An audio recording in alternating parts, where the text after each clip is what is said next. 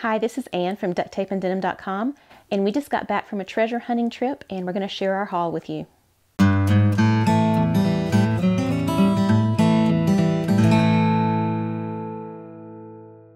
Okay, we started this morning in Cleburne, which is where our two booths are in two different shops, and we started at Goodwill there in Cleburne. It's a really small Goodwill, but occasionally they have good stuff. Actually, usually they have pretty good furniture. Today we didn't find any furniture, which might be a good thing because we didn't have much room in the Jeep.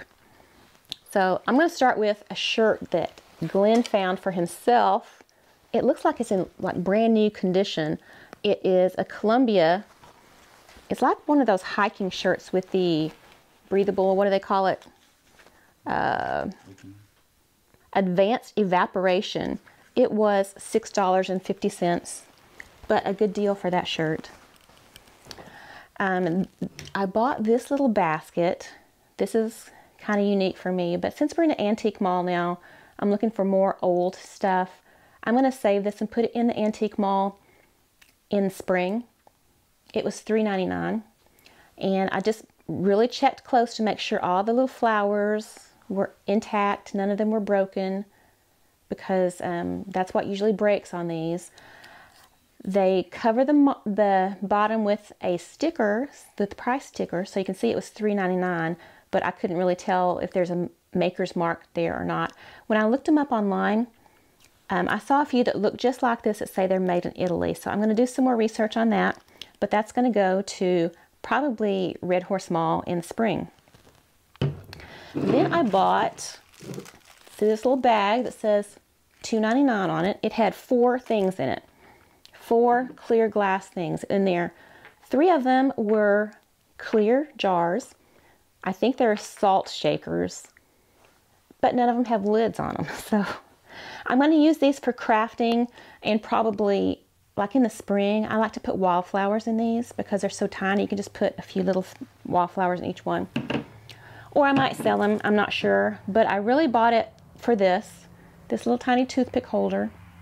We used to have one like it when I was growing up, so that's kind of a sentimental thing. I don't know that it's valuable or anything, but um, I might keep it, and I might, if I can find the other, the real one that we had when I was growing up, I'll probably sell this in the antique shop too. Okay, the next thing is kind of funny. This tray here, it's a Fire King. I don't know if you can see the, can you see the Fire King on the bottom at all? No and it almost looks like milk glass, which I keep saying I'm not going to buy anymore, but um, because it wasn't selling for a long time. In the last two months, I have sold almost all of my milk glass, so maybe I should start buying it again. But this one was $2.99, and it's got gold around the edge, and I just thought it'd be pretty for Christmas in the booth, and I will put like the ornaments and stuff in it. It's also going to be for sale, but that's why I bought this one. Then we went to the antique mall, I saw another one just like this. It was $12. We went to the next antique mall. I saw another one exactly like this, and it was $20. And then we went, so that's three. We went to another store. I forgot which store it was. Another one later, I saw another one. And then the last Goodwill of the day, I saw another one. It was $3.99. It's like, okay, I have to buy this. I saw five of these exact same trays today, which I don't think I've ever seen this tray before. And now today I saw five. So, so I thought that must be a sign that I should buy it. But I couldn't have bought all five of them because, like I said, one of them was 12 and one was 20. And they're not even that valuable of a plate because you can buy them online for on eBay for $5, $7 plus shipping. So so um, that was what we got in Cleburne at the Goodwill. Then we went to Stephenville because we haven't been, we've been to Stephenville before, but we've never been to the antique and thrift stores there. The first place we went to after lunch was second time around consignment. I spent $16 there and that was a really good place. Everything was really cheap and I bought some just random pieces. This little creamer, um, Harmony House, Meadow Bloom. Is that focused? Okay. I don't know anything about it. It was a dollar. So I bought it.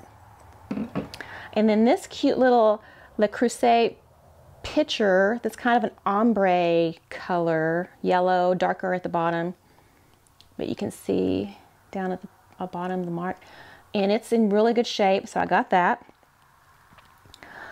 That'll probably go in the Antique Mall in the spring too, since it's a nice yellow color. This, I just love the lines of that. There's some letters on the bottom, but I can't read what it says. Um, I just thought that was really pretty, so that may either be in the uh, Christmas, in the shop at Christmas or in the spring. This cute little, um, I, I'm assuming it's a sugar bowl. It's got a lid. It says made in Japan on the bottom. I don't know anything about it. I just thought it was cute. So I don't know where this is going to go yet. Then I bought milk, milk glass that I said I wasn't going to buy. But I bought this one because, can you hand me that one over there? I think they're exactly alike. I didn't even check before the video. Yep. This is the one that I keep on my desk with all my colored pencils in it, but look at this one. And it was a dollar, so it's like I had to buy it because it matches the one I have. And now I can put my pins in this one and my colored pencils in that one. And then we found a jewelry cabinet. It's kind of dirty inside, pink. Uh, there's no stains, it's just dust. So it's gonna clean up pretty good and I'm gonna paint that. I'll get that out of the way. It's gonna join my collection of other jewelry boxes under the table that probably aren't gonna get painted until after Christmas because between now and Christmas is pretty crazy. All right, that was second time around consignment in Stephenville.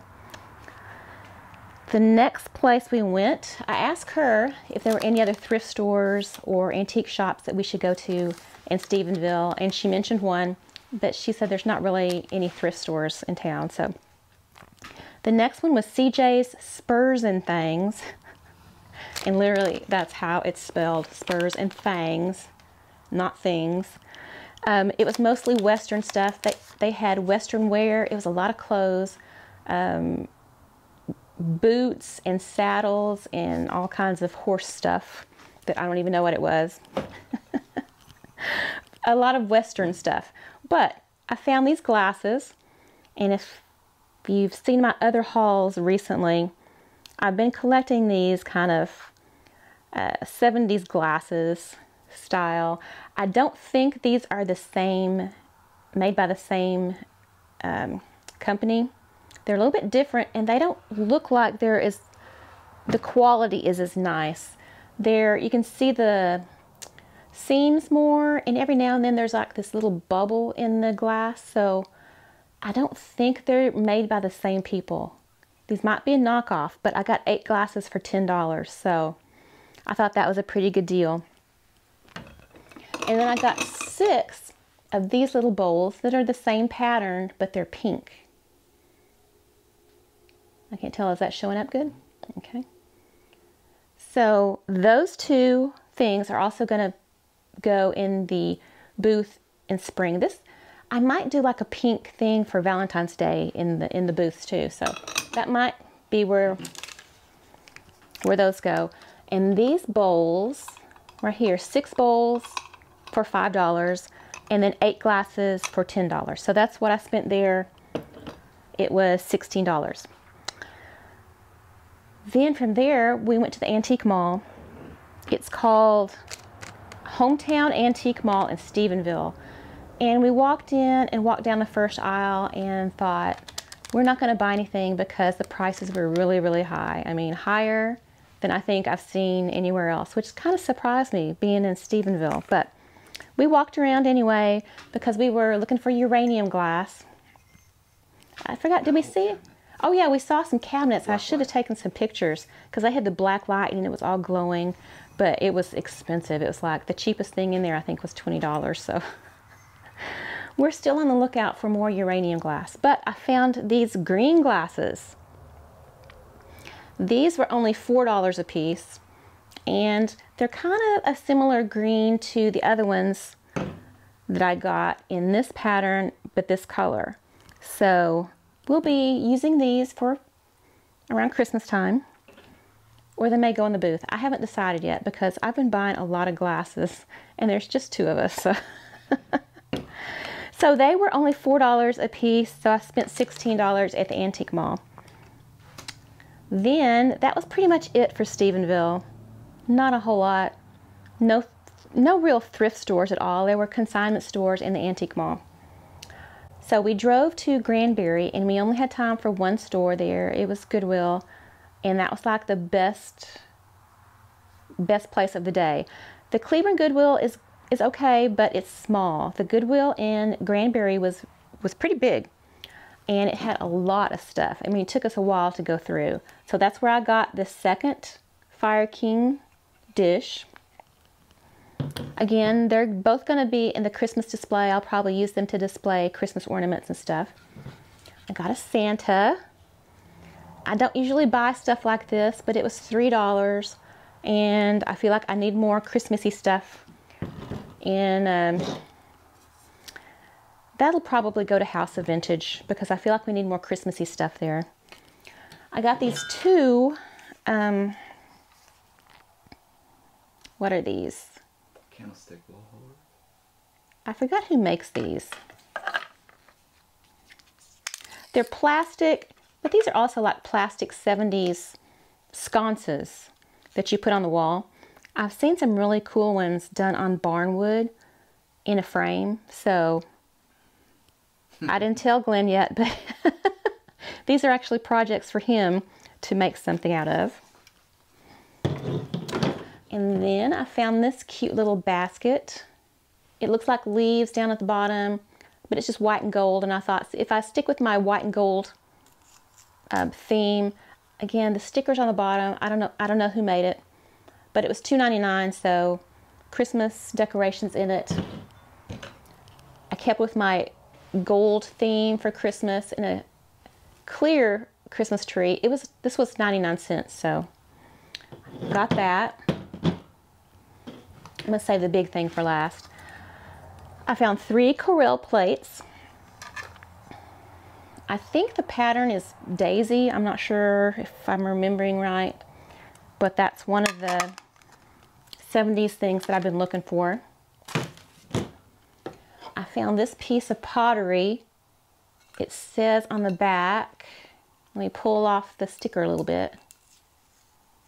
Deer Trail Pottery, Ruidoso, New Mexico. And I, I just thought it was really pretty. It's very Christmassy, but it's not Christmas color, so it could just be winter. But it was $2.49, so I got that. And then Glenn found this. This is a cute little Dear Diary box. It was only $1.99. It's scratched up pretty good, but um, Sorry, I had to smell it to see. It looks like a little cedar box, little cedar chest box. So I might put some felt on the bottom, leave the cedar so you can see it. It looks pretty nice inside. And I love this old, the old latch on it. And Dear Diary is actually burned in, but it's kind of engraved too. So I think if I painted it and distressed it, I I think that would show through still. So I'm going to try that. That's going to be a project box. Then I bought this kind of random thing. It's pretty ugly right now, but I bought it mainly because it has the turntable on the bottom. So we're always needing something for um, displays and stuff. So this is going to be some kind of display. I don't know what kind yet, but but you know, I just a lot of times I buy stuff that I like and I don't know what I'm going to do with it. And I'll just hold on to it until I can figure out. the cat just came in and she's not being very quiet. She's not being obedient. this was the biggest thing we bought today. This planter, planter holder maybe. So this will be nice again in the spring. I'm already trying to think ahead till um, the next season We've got all our Christmas stuff in the shops right now, and It's like, what am I going to do when Christmas is over and either that sells or I have to take the Christmas stuff out? I've got, I've got to have something to replace it. So I'm getting my brain around, well, what am I going to do next already? So we may have a little garden theme in the spring. We may have some pink Valentine stuff. Um, I would love to hear back from y'all. Which, what was your favorite find of the day? Um, let me know in the comments below. We appreciate you watching us and we appreciate your comments and likes and shares. And just go ahead and let me know which was your favorite find for the day. And let us know if you like to see these haul videos. And we hope to share more with you in the future. Thanks for watching. Bye.